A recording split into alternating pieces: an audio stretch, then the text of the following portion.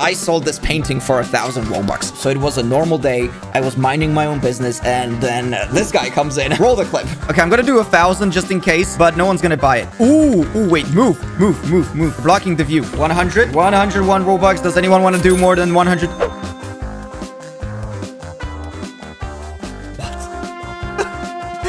Th- Wait, wait, wait, wait, wait. 2,200. Oh my god, dude. I'm freaking out.